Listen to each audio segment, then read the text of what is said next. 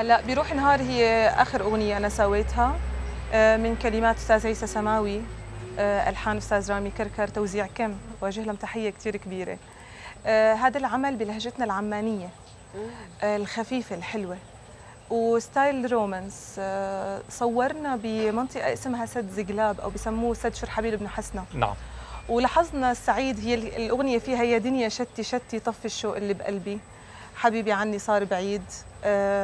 فالكلام كان كتير مناسب مع مكان التصوير كانت الدنيا عم بتشتي صراحة أنت يعني. صورتيها في الربيع صح. آه، بداية الربيع وصدفة الربيع. إنه عن جد شتت يعني طول النهار وإحنا عم نصور كانت لحظك بت- الحلو شتي رداد يعني ما احتجنا إنه نعمل شتاء اصطناعي. شيء اصطناعي. فكانت الأجواء كتير حلوة والحمد لله يعني عم بتزيد عدد المشاهدات عليه. يعني الناس بيقدروا يحضروه أكيد على اليوتيوب شانل والمكان الثاني اللي صورنا فيه آه، اللي هو آه، متحف آه، أبو جابر بالصلت نعم نعم بيت أبو جابر. بالضبط. نعم اللي صار فكان فكان تكملة كله للموضوع.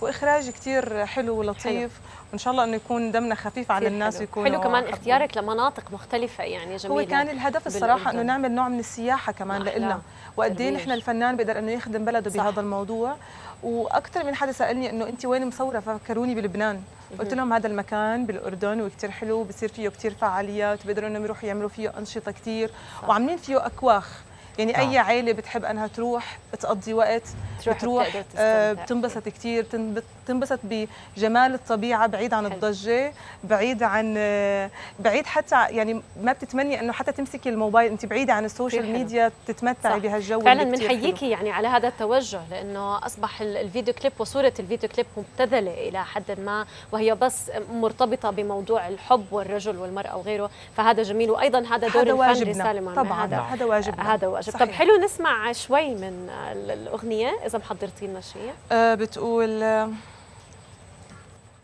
تقول غلبني الشوق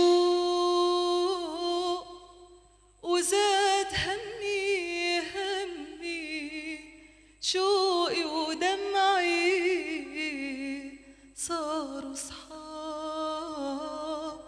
غريبة هالدنيا ويلي اشتقت الحبيب جنبي. يميني صبرني ومين. قلبي الحب يطلبني. يا دنيا شتي شتي. طفي الشوق اللي بقلبي. حبيبي عني صار بعيد. دموعي ما عاد تكفي. هو نصيبي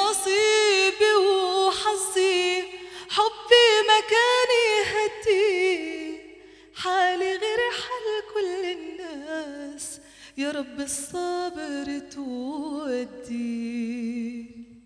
نانسي بيترو يعني شهادتنا في صوتك مجروحة. بحضورك الأنيق طريقتك العرب اللي بتحكي فيها والحكي اللي يعني تكلمته أنا وياك قبل الهوا انسيه خلص أنت بتحبي الأجواء الرومانسية وال... وبتقدميها ب... بشكل حلو أنا بحب فيها. ال- الإشي اللي فيه إحساس نوصله نعم. للناس هلأ اشياء الحركه أكيد واجب موجودة آه، بس يمكن الناس عم تتميز شوي بهذا اللون وحتى لو بدي أعمل إشي سريع بفضل نعم. إنه كمان يكون آه، عاطفي وحساس يوصل للناس. لأنه احساسك كثير عم بترجم من خلال الكلمات والطريقة اللي عم بتقدمي. فيها. الأغنية فصراحة كثير لبالك أنت قلت لها ما أنا قلت لها فكك من الرومانسية وخليكي لا يا زلمة بالعكس كثير حلو. بجنن. خليكي مبسوطة واستمتعي في الحياة وهذا اللي خلص. تفضل بدنا نحكي مش حاجة. هذاك تحت الهواء.